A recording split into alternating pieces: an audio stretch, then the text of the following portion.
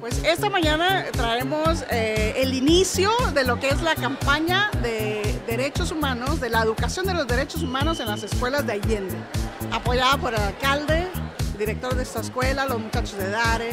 Eh, vamos a empezar a impartir la educación de los derechos humanos en toda Allende.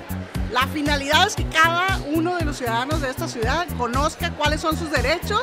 que a la vez son sus obligaciones también. Y para eso estamos eh, trabajando tanto el Instituto de la Juventud, Desarrollo Social Municipal, el DIN Municipal, el Grupo DARE, todos trabajando en materia de prevención y aprovechando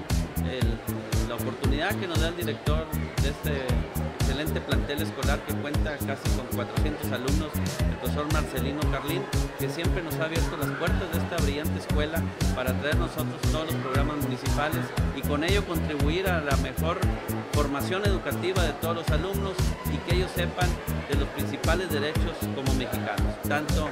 eh, por mencionar algunos, el derecho de la libre expresión, el derecho como mexicanos para poder ir a donde queramos, la libertad, es algo que muchas veces no valoramos.